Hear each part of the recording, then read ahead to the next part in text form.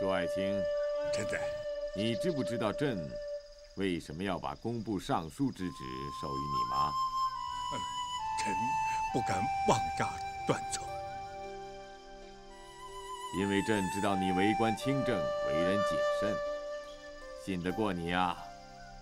皇上，主贵谢主隆恩。哎，和珅啊，不知从何时起，大清的官宦中滋长起了中饱私囊之风，上下官员热衷于大兴土木，大多是为了一己之私利。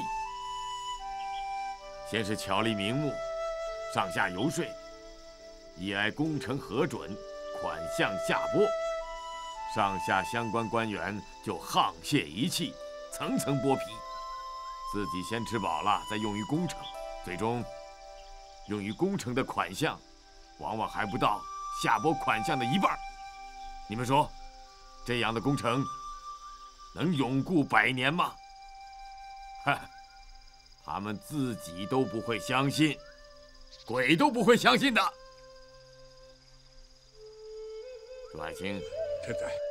朕让你署理工部，就是让你刹住这股风。从这次圆明园的修葺工程开始，你就要把住关口，堵住漏洞。如果有人胆敢侵吞工程款项，一定严惩不贷。臣不敢辜负圣望，一定肃清歪风，保证工程永固百年。哈哈，和珅，奴才在。工程什么时候开始啊？啊，呃，户部已将银两拨到了内务府，由恒善来采办工料。一旦工料到位，工程立即开工。传恒善到万春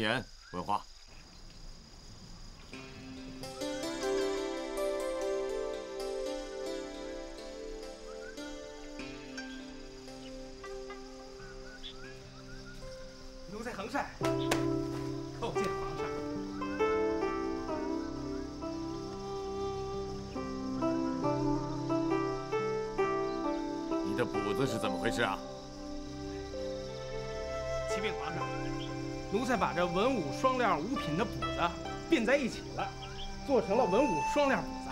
皇上，你看，哗众取宠，蝙蝠事关国体，怎么可以视作儿戏？你竟敢别出心裁，擅改祖制！我以为这样可以彰显皇上之恩典，贪慕虚荣，不知自爱，弄巧成拙。你到府海里照照你自己，滑稽可笑之状与非有何异？哪儿还有一点大清官员的端庄威仪？哎，皇上息怒，奴才知罪了，奴才知罪了。皇上，我是看何大人他这么穿的，我是跟他学的。皇上，您看，奴才穿的是那种补子吗？恒善，我与你无冤无仇，你何故诬陷于我呀？皇上。何大人那块补子，他迎着光看是文二品的锦鸡图案，他背着光看是武二品的狮子图案，他站着不动，他站着不动，当然看不出来了。这是从何说起？和珅，你给朕转上几圈，让朕看看。主公啊，臣在。你也仔细看看。遵命。皇上，周大人，您看好。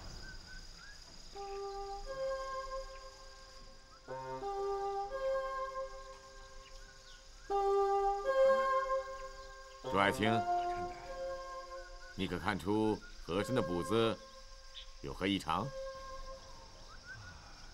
启禀皇上，何大人的补子就是文二品锦鸡图案，臣没有发现有什么异样。皇上，何大人今天没穿那块补服，但是他以前真的穿过呀。主贵，臣在。你看见过吗？臣确实没有看见过。那你们呢？没见过。皇上明鉴，奴才何曾穿过什么会变化的补子？你这皇上，何大人他以前真的穿过，他别人没见着，只有奴才一人见着的。够了，和善，你贪慕虚荣，擅改祖制，还不思悔改，你血口喷人，陷害忠良。何爱卿，奴才在。你是内务府总管，彭善就交给你处置，一定要严肃惩办，以儆效尤。奴才遵旨。哎呦哎呦，皇上哎呦！何大人，何大人，我一时糊涂啊，我的小命都在您手里了，您就大人不计小人过，就饶了我这次吧啊！饶了你？怎么饶啊？这是皇上交代下来的事儿，我可不敢马虎。怎么处置还不如您的一句话呀？你就放了我这马吧，我求求您嘞！现在求我了，你早干嘛来的？嗯？你在我手下这几年，我时时处处袒护着你呀，啊？给你担了多少风险？就拿查办粮店这件事来说吧，啊？如果不是我给你想辙，你过得了这一关吗？可是你怎么样？啊？你是恩将仇报啊！在皇上面前往我身上泼脏水。那双料补子，是我让你在外边场子抖抖威风的。我让你在皇上面前显摆了吗？啊！现在皇上怪罪下来了，你让我怎么办？我要是不查办你的话，我那是抗旨不遵呐！哼！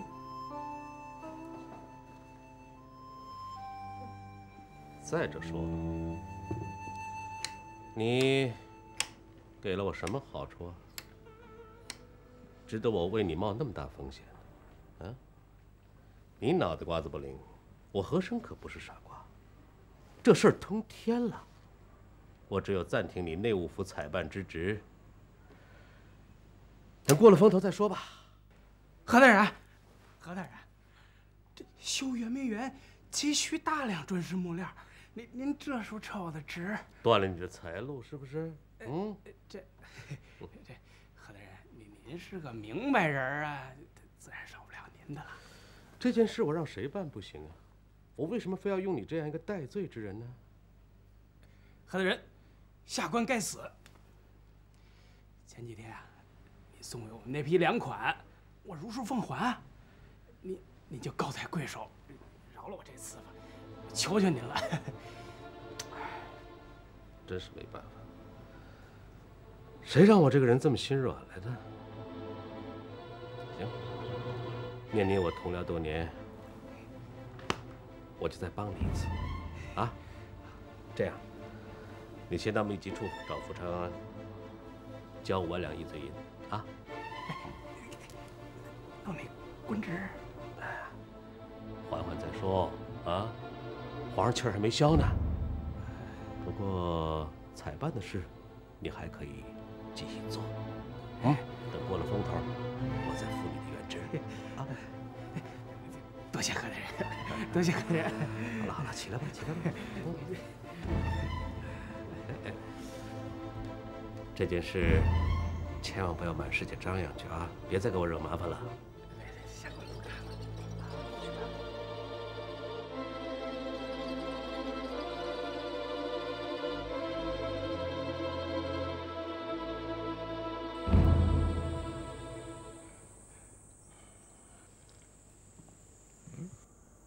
王大人，怎么样您喝了我这个君山的碧螺春，味道怎么样？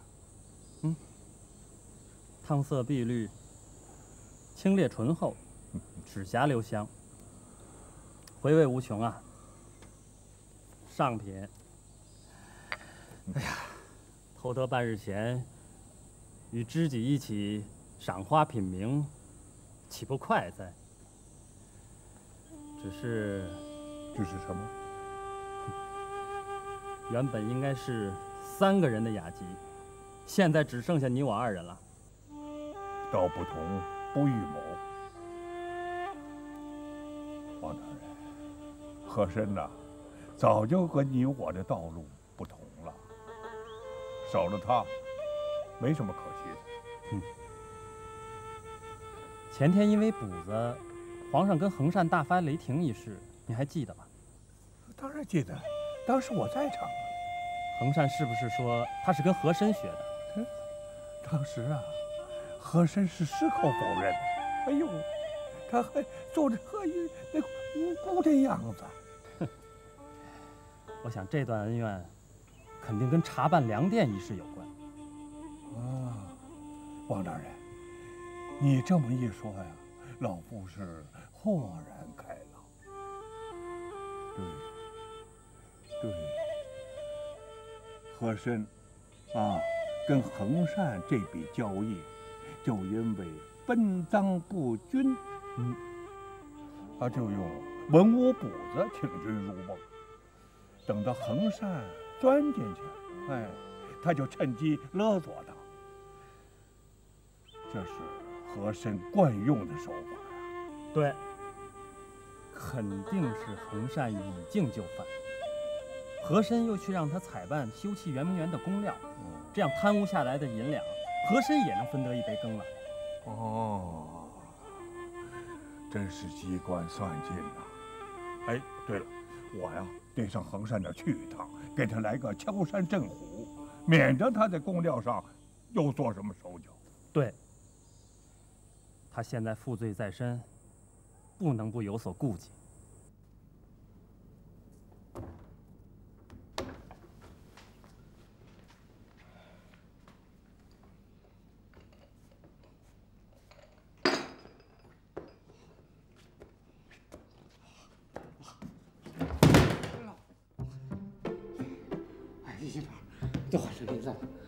你说，这里里边都是你用银票兑成的银子？累坏了吧？快抬到密室门口去，抬走！啊！快起来呀！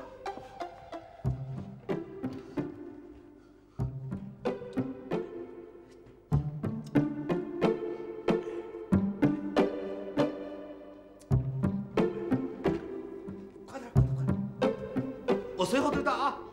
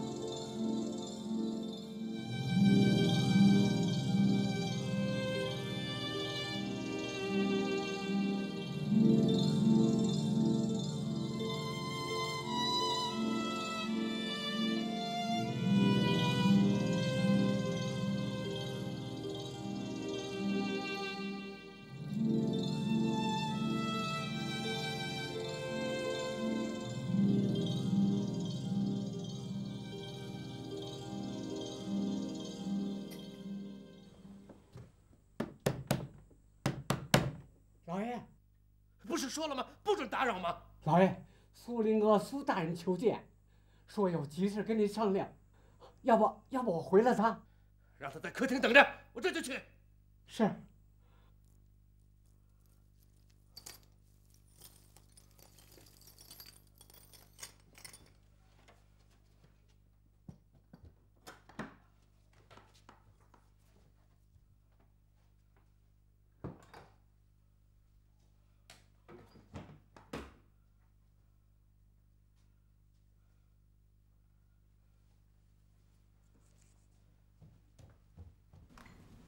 苏大人，什么事儿这么急找我 呀？何大人，深夜叨扰，委实冒昧，请何大人恕罪。别客气，坐下说，坐下说啊。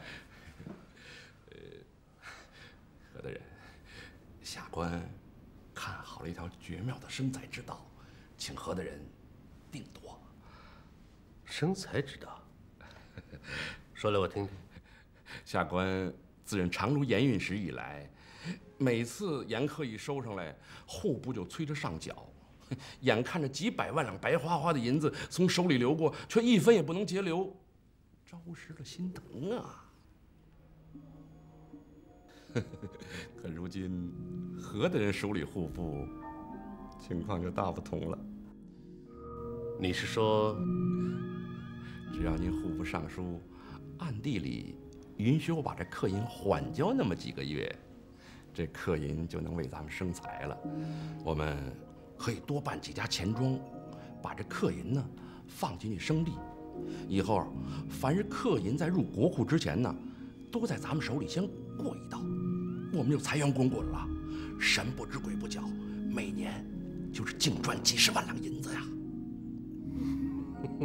好主意，好主意。呃。你说这几十万两银子，你我，呃呃呃呃呃呃，当然是何大人拿大头了。呃，何大人不便出面，呃呃，钱庄的事儿就由我操办啊。呃，以后每年给份车马费，下官就知足了。瞧你说的，行，这严苛的事儿嘛，就由我来操办啊。你放心，那就。把钱庄开起来吧，何大人真是痛快之人，下官当尽快去办啊！那是那是啊，多耽误一天，就等于多耽误我我们的银子。那 是那是。哎，苏大人，你在下边当差，最近可有什么新奇的事儿？说给我听听。新奇的，哎，您这一说呀，我倒想起件事儿来。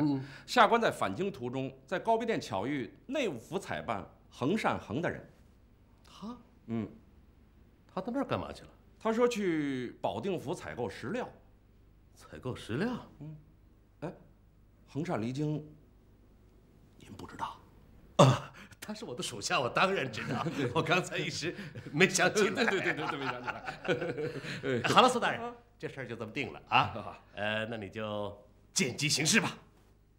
有何大人撑腰，下官当尽快办妥。那下官告辞了。啊好。啊，不送啊！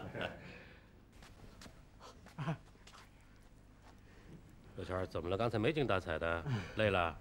不累，不累就好。拿我的帖子，连夜去趟保定。哎，大半夜的上保定干干什么呀？到了保定啊，你找徐长春，让他务必打听清楚恒善的下落。恒善他怎么了？嗯，有人看见他，说是要去保定。采办石料。第一，我没有委派他；第二，采办的石料也不出自保定。他匆匆离京，其中必有蹊跷。这小子肯定是好了伤疤，又忘了疼了。刘全啊，这次我们再抓住他一次把柄，那恒记粮店可就改姓何了。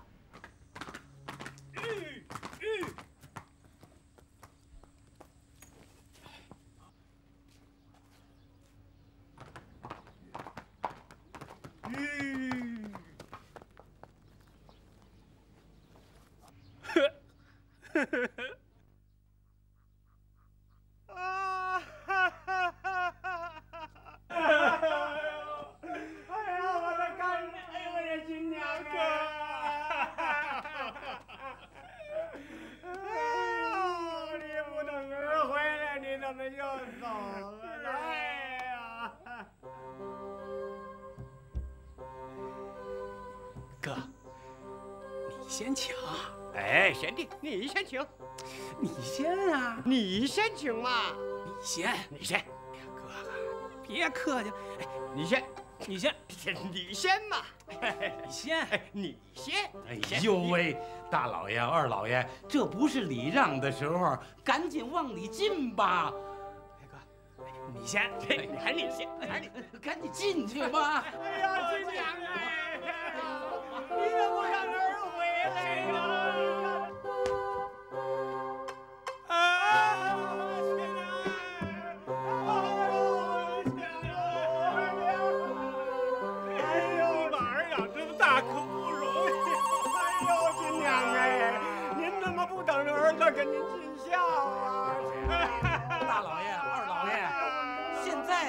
不是哭的时候，好多事儿都等着老太爷和你们拿主意呢。什么事儿啊？还能什么事儿啊？丧事儿吧？啊，老太太丧事怎么办呢？哥，你在吏部报丁忧了吗？没有啊，你呢？我还没有。你说妈也真是的，这去的可真不是时候。我刚刚在粮店上被和珅坑了一大笔，正想从圆明园休息当中捞回来呢，在家居丧三年，这不黄瓜菜都凉了。我花了大把的银子上下运动，才争得了一个外放的两江总督，哎，兼漕运总督。这本钱还没捞回来呢，漕运总督，哎，让皇上给免了。那你说怎么办？恐怕呀，只能密不发丧，悄悄的葬了母亲。你我呀，各反其职。你也得只能这么办了。亲娘啊，恕儿不孝了。等儿挣足银子，给您做七七四十九天水陆道场，哥，是不是？是。不行，丧葬大事怎么这样敷衍了事？你们也太不孝了。哎呦爹，凡事都以大局为重。您给我妈丧事办得再风光，那也是个过程而已啊，那给别人看的。与我们哥俩的前程相比，那孰轻孰重，您得掂量掂量。找借口！你们俩人贪财爱财，别人不知道，我还不知道啊。什么耽误前程？你们是想把丧葬费省下来？你们的那点小算盘，我都知道。你们不要忘了，我是你爹。你们俩那一肚子坏水，我全清楚。你们不要拿我当老糊涂。爹呀，您这么说，您儿子可实在是冤枉死了。您这俩儿子再没钱，这几个丧葬费还是不在话下呀。您别忘了，您这俩儿子不是废物。您要真是想办这丧事咱就一分不花，哎，也办得风光体面。可是爹呀，您也帮我们算算，我们哥俩做三年官，挣多少银子？说什么都没用，不行啊，就是不行。爹，您怎么刀枪不入啊？他这事儿不是出来了吗？咱们自然得想个变通的法子呀。你们就顾了你们自己那点小九九，从来就没替我想想，我我算白养活你们了呀。您怎么了？您不是活好好的吗？我好，我好什么呀？我我惨透了呀！我呀，你们净想着当官挣钱，可是你们一走，家里就剩下我这一个老头子，我可怜不可怜呢我啊！你们要是在家，也能有人陪陪我呀。哎，爹，你什么也别说了，儿明白了，哥，咱得给爹找一个填房的小妾。爹，您要什么？您说呀！您让我们哥俩打了半天哑谜。这么简单的事儿，您放心，让我们哥俩包了。你们可别胡来啊！我可没这意思。哎，那爹，我给爹爹，您别走，您别走，您那想法，别走。爹，您现在同意不同意？咱们展不发丧了。那就以大局为重了。成交。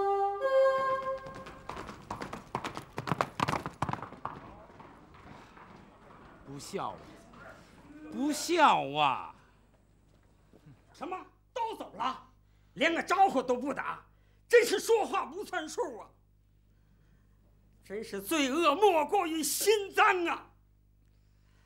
我我怎么养活这么两个儿子啊？造孽呀，造孽！老婆子呀，我我对不起你呀。您说说，这叫什么事儿啊？连横幅的管家都看不过去了，骂他们是不孝、忤逆、忤逆、忤逆透顶，这不孝不忠，这可是大罪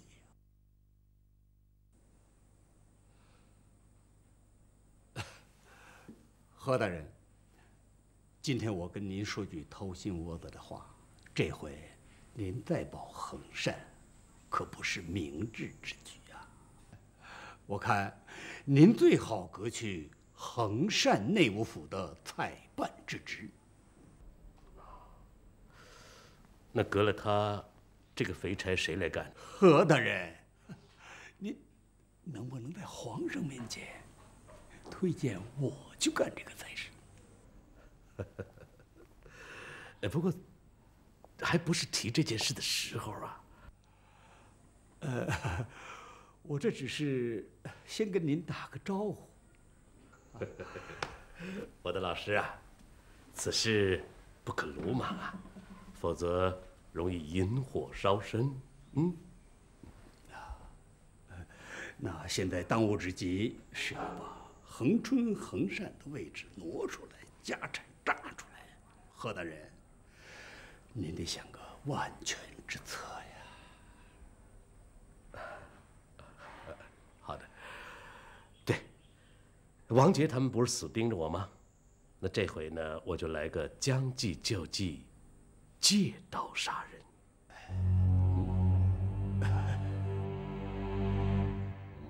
我大清以孝治天下，可恒春、恒善兄弟俩竟敢不报丁忧，不肯居丧，这是犯了忤逆的大罪呀！尤其是恒善，是我的属下，我若知情不报，那就是失察之过呀。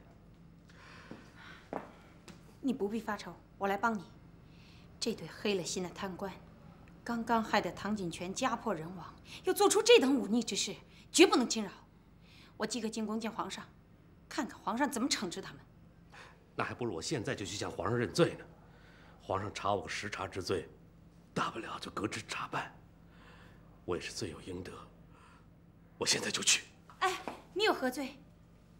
何必受此牵连呢？既然恒善他瞒着你，你就佯装并不知情。我再把这件事儿透露给王杰，就说是我自己查到的，让他联合几个御史弹劾恒家兄弟，这样岂不是两全其美？这好是好，不过有背后利用王杰之嫌，这不像君子所为。我还是亲自向皇上禀报吧。你能这样想，已经堪称君子了。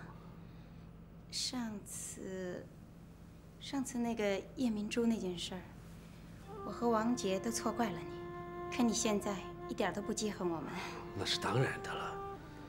青莲，说实在的，我非常怀念我们跟周给王杰刚在山东结识时的情形。那时候真是无所畏惧，豪情万丈。我更珍惜我们当时结下的情，那情谊就像美酒啊，越久越醇。我说恒善怎么突然回保定了？原来如此，这兄弟俩为了捞钱竟犯下忤逆之罪，真是丧心病狂。对，如果王大人能和几位御史联名参劾这两个贪官，他们的末日就到了。对，对，我即刻就写奏折。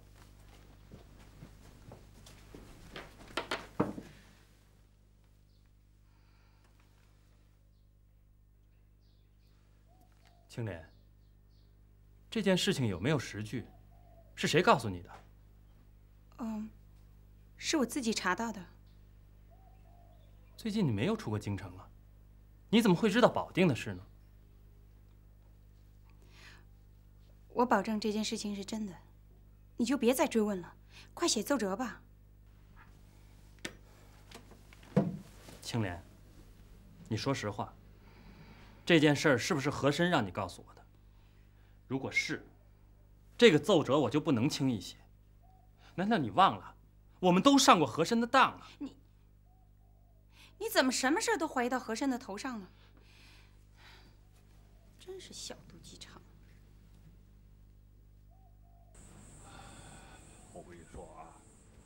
和珅呐，他是故意的，把这个事儿让青莲知道。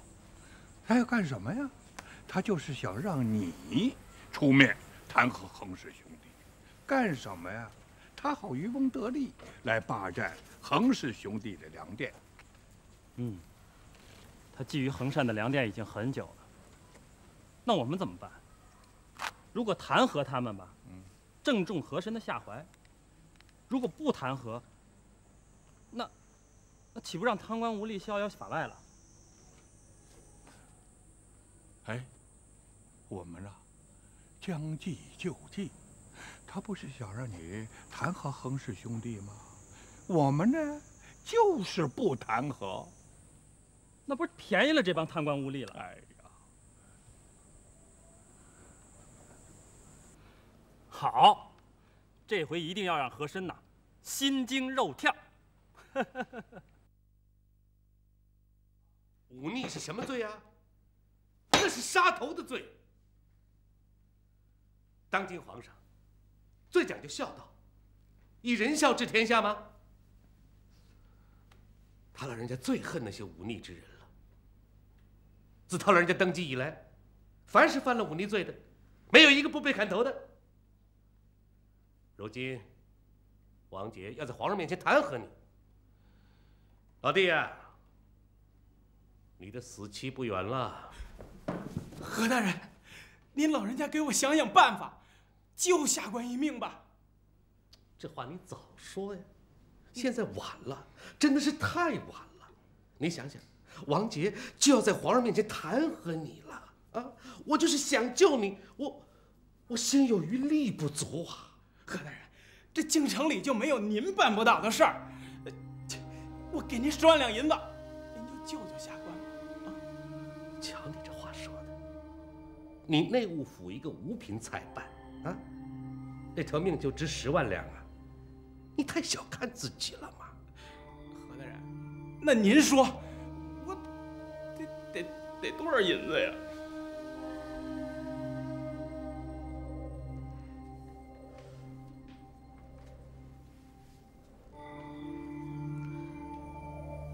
实话告诉你，我一两银子都不要，我只要你在京津地区的那十几家粮店。何大人，那不成啊！那十几家粮店是是你的命根子，命根子，对不对？你这个人太不识逗了，一逗就把实话说出来了，你。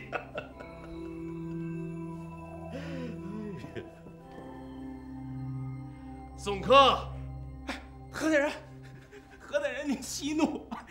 那十几家粮店，我我我就我都给您了。行，你还算个明白人。不过口说无凭啊。这这，那那我给您立个字据。来人呐，笔墨伺候。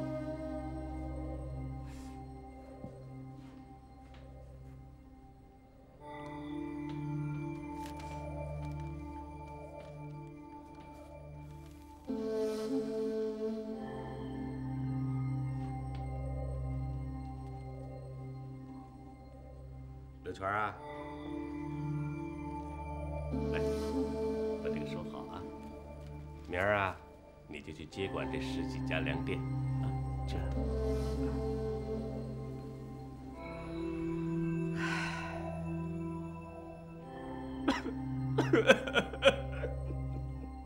怎么了，老弟？那你哭什么呀？别别别别别别！哎呀，命保住了，你应该高兴才是啊！啊别哭了，别哭了，好了好了好了好了。哎，你呀、即刻赶回老家，啊，给你母亲祝寿去吧。啊，我母亲呢？哦，我知道，我知道，我知道。嗯你动动脑子，动动脑子，你好好想想，啊，王杰呢，在皇上面前参你忤逆，皇上必然得派人到你老家去查看一番吧？哎，到那一看呢，你母亲平平安安的待在家里呢，此事还有什么可怀疑的呀？哎，啊，何大人，哎，这招确实高明啊！哎，好，还有啊，这样呢，我还可以参王杰一本，告他诬陷于你，不等于为你报仇了吗？多谢何大人。何大人，您这下官的再生父母啊！别这么说，别这么说，你呀，赶快回家安排去吧。哎，好，哎，谢谢何大人，谢谢何大人，告辞，告辞。你走好啊，走好。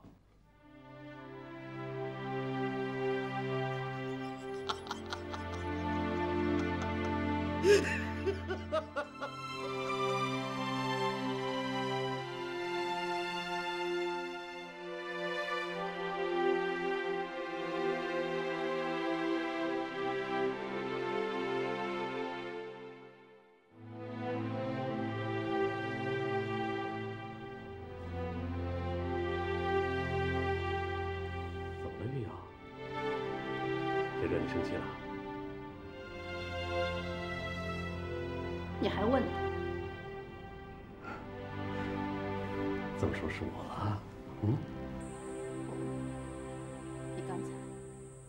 是不是强夺了衡山的十几家粮店？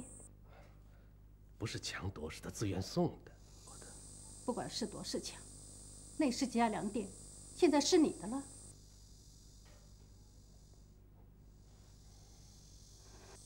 老爷，我们是缺吃的还缺穿的？我们要那么多的粮店，那么多的银子干什么？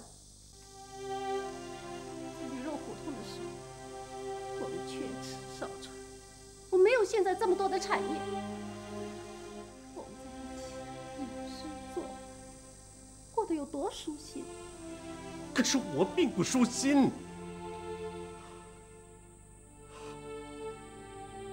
玉瑶啊，你刚才提到驴肉胡同，你知道驴肉胡同对于我意味着什么吗？是耻辱，是伤心。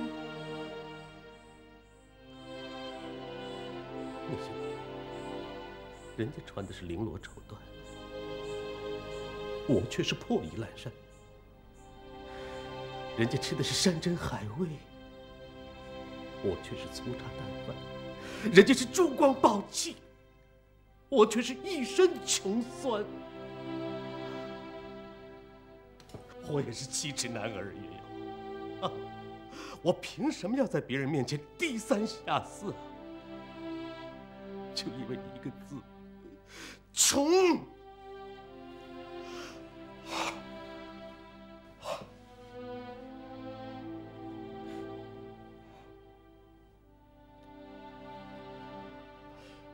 可怕的穷啊！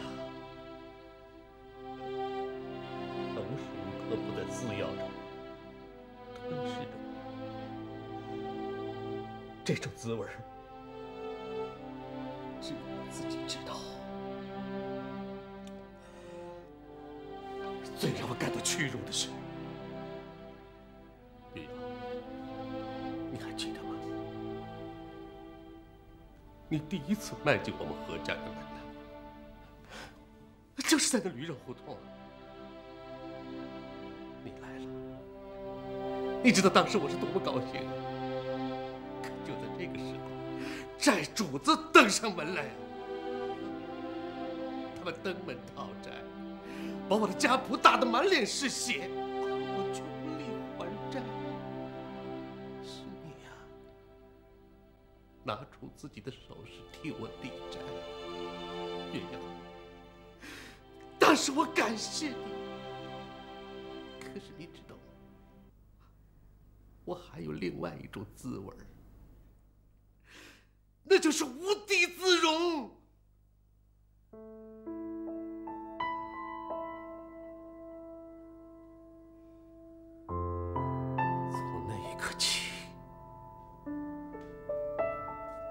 我就对天盟誓，我要千方百计的挣钱，我要一雪前耻。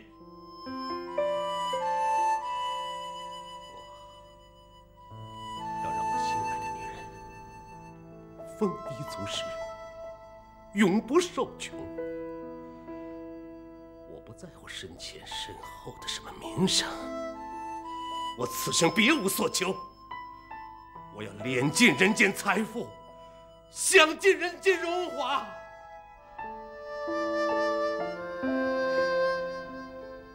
你终于说出了你的心里话，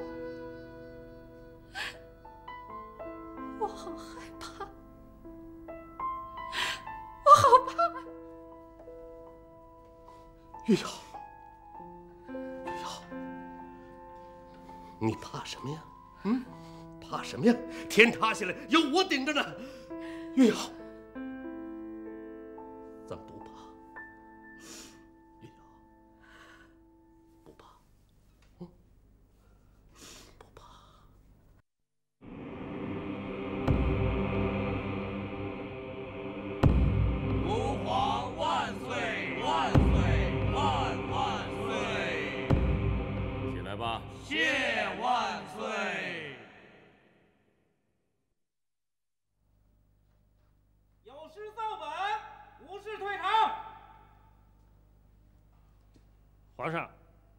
陈王杰奏请参劾。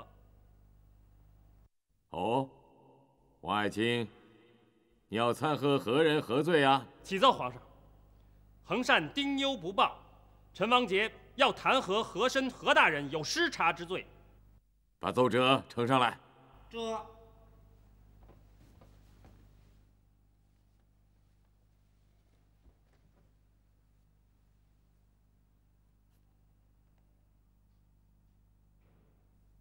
和珅，恒善是你的属下，他做出此等忤逆之事，你确有失察之责。皇上，奴才知罪，不过奴才也正要弹劾呀。和珅，此事弹劾，你纯属临时抱佛脚，你这是推卸责任。看来，你还不是认罪的。奴才不敢，等皇上看了奴才的奏折，就明白了。